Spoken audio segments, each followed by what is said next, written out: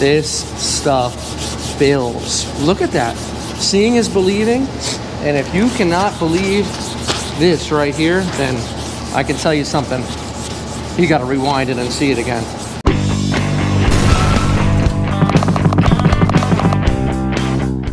What's going on everyone and welcome back to another episode of Paint Society, the channel where the learning doesn't end when the video stops. Guys, I'm so thrilled to be back here doing a review for UV primer. Technology is changing every day and it's changing even more so in the auto body field. So what I'm gonna do for you guys today is I'm gonna show you the world's fastest drying primer and I think I'm really gonna blow some of you away. If you don't know what it is, it's UV primer. It's hot right now. Well, literally not, kinda, sorta. It's UV. We're gonna show you the flashlight. We're gonna show you two different ways to use it. So uh, let's take you over to the table now and let's get started. Okay, so in this video today, what we're gonna be doing is we have a bumper here that's already been um, body worked and it's in its final stage right before primer and I'm gonna give you real experience of taking something that's just been sanded and uh, using the UV light and what situations do I use this light in? What is it good for?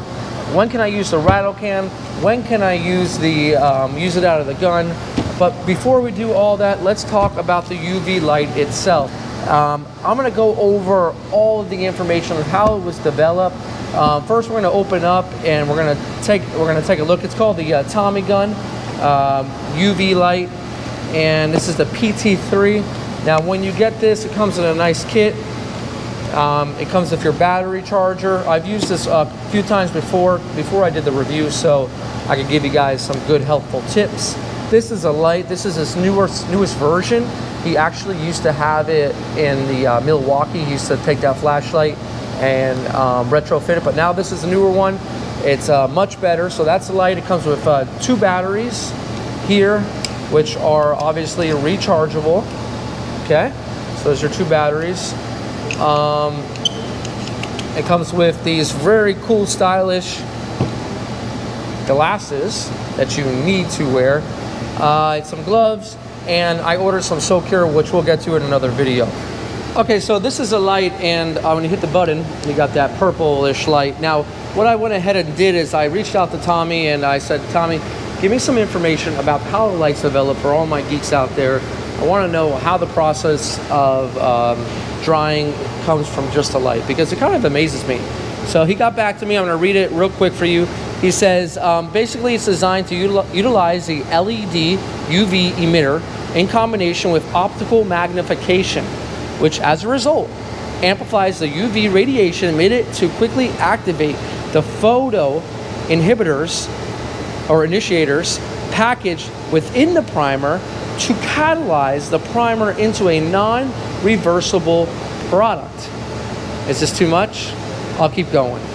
Unlike urethane uh, primer, what we commonly always use, which uses a separate catalyst, which would be the hardener, it has to be, which has to be mixed together with the primer. Urethane primer relies on the moisture within the catalyst to begin that molecular cross-linking process of the molecules. UV primer cures the same exact way, but with UV primer cures the same exact way with a catalyst, so to speak, that responds to certain frequencies of UV light, of the UV light spectrum. This is why UV primer is always a single component until exposed to UV light, then becomes immediately cured. So it will never cure unless it has the sunlight or this light right here. And we can't always guarantee the sun's always gonna be on it. So with that said, what I'm gonna do right now, since we know that this light is super technical, um, we're going to sand this down and then we're going to see how it works. Okay, so before we go to primer, let's just have a quick brief lesson on how we're going to prepare this. So this is um, Polyflex, we use it on bumpers, flexible um, parts.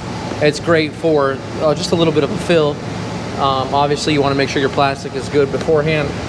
Um, and what I'm going to do here is I'm going to sand this real quick with 120, 180. I'm going to kind of knock it down. And for that, I'm gonna use, um, and it's an orbital sander, but it's flat. So that's gonna help me knock it down and kind of get it into shape. And for that, like I said, I have 180 grit. So I went ahead and I just put Velcro on this. Uh, it was regularly a sticky, sticky one, but I put Velcro. So I'll go ahead and I'll 180 this. And then I got 220 on here to uh, do it by hand. And then what I'll do is I'll take my 400 and back sand the whole area and preparation for primer. So let me show that to you right now.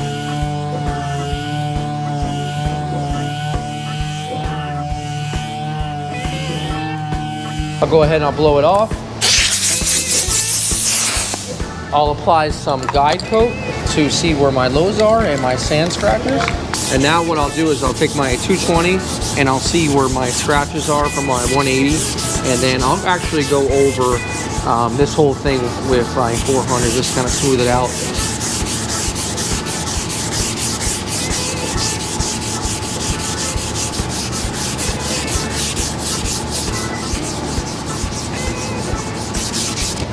Then I'll take 400 and I'll back uh, sand the whole area about two to three inches away from my primer area.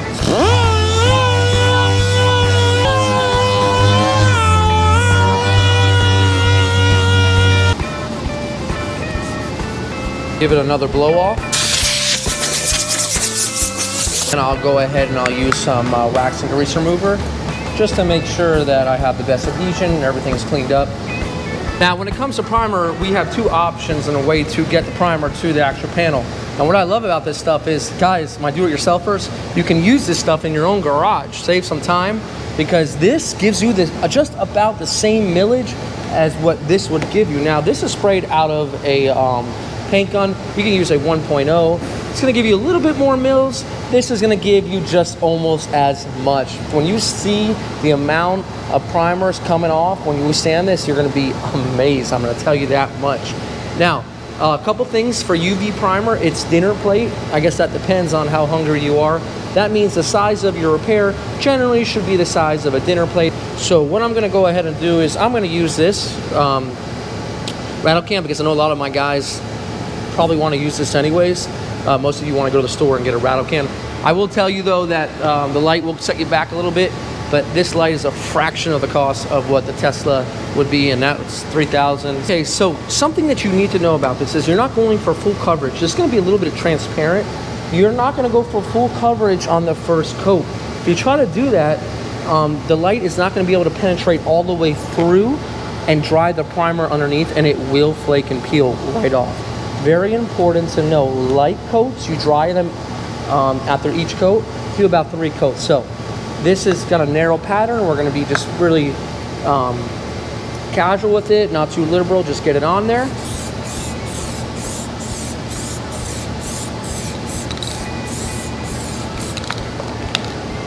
Now, we're gonna do this in real time, and if you were trying to sell this to me, I wouldn't be buying it just based off that coverage, but hold on, real time.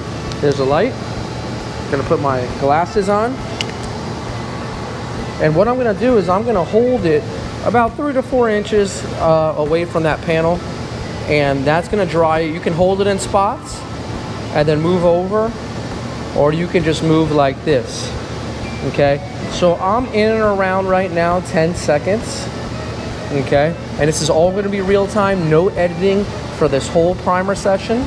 This um, actual light has a bigger footprint, so it is able to cover a larger area at one time. Now, I can touch this right now and it's already dry, but you don't care about that because you want the coverage to be there. So stand by. Let's do another coat right now. This is your second coat.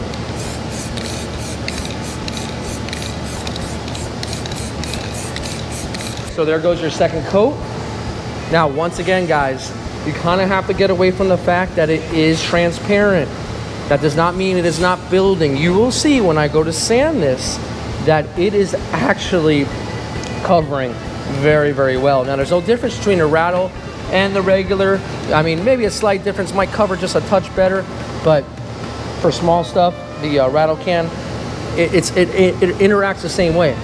There's no hardener, there's no difference. Make sure you guys get all your edges. Remember, this is real time. with no editing, absolutely no editing. Okay, if I hold it on a spot, it's gonna dry it right away. So we're probably in about a minute. Okay, let's do one more final coat. This is the third and the final coat.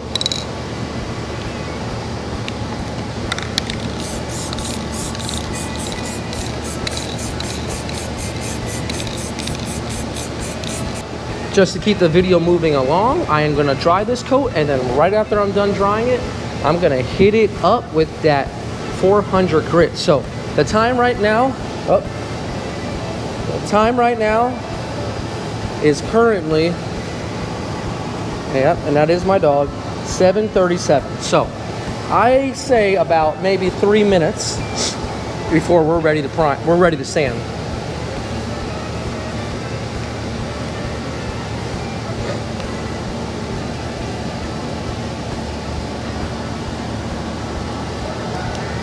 Okay, so let's take a look at the time. Two minutes.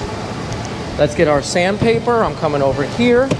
I am grabbing some of my 400 real quick. And I'm taking my block and let's show you the millage that is gonna come off of this right here. Completely dry. What you gotta do first is kind of break that barrier. Once you get through there, I'm gonna tell you something.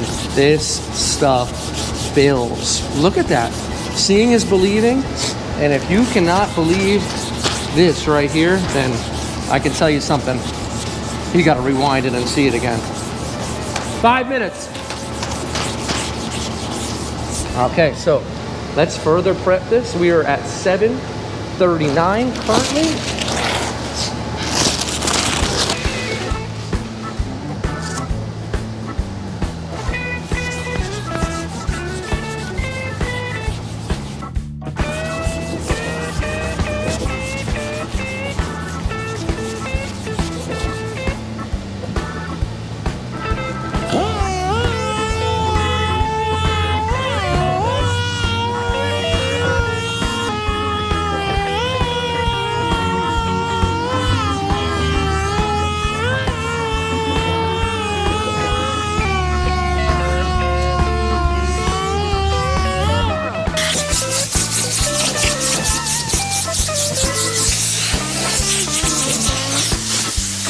All right, guys, so you saw me right there. I was able to sand it now. I did a quick sanding. The current time right here is gonna be 742. We started this journey at 737 on the last coat of primer. From here, all I gotta do is prep out my areas with maybe six to 800. I'll go ahead and seal this. This is actually not burned through. There is primer over that edge. I'll go ahead and refine my primer just a little bit, but I wanted to show you how quick this stuff is. Can you believe that? We went from body filler to ready to paint in just about 10 minutes. A little bit more time on the rest of the stuff. But guys, I really hope that you really see how this can help you out. So let's talk about some quick tips before we end this video. Okay, so that's gonna conclude my slight, not really review, but tutorial on how to use this UV gun, uh, the Tommy gun. And I gotta tell you, this guy, Tommy, he is, he makes me look stupid. I know you guys like the technical aspect of my videos, but the man is very knowledgeable in the paint field, been a rep for a few companies. Uh, just pleasure to, to talk with the guys. So, and, and he developed this light with his company and you know we've used it a couple key points you want to remember with it um, is that you don't want to overload it you don't want to put three or four coats on until it's dark uh, it's never going to go through it. You're going to say, ah, oh, this primer sucks, it stinks. 99% of the time, it's user error with any anything that usually goes wrong. Okay, they want to release these products that they didn't work. So you got your gun here, keep it three or four uh, inches away. Remember, dinner plate. You don't want to do a whole big area with this. It's better just to use your regular old urethane for that. So you can spray it out of a gun I hear you get up to seven mils with some of this stuff. Uh, keep this out of the sun because it will dry. I've heard of guys uh, keep it in a lunchbox if they're uh, demoing it and driving around town.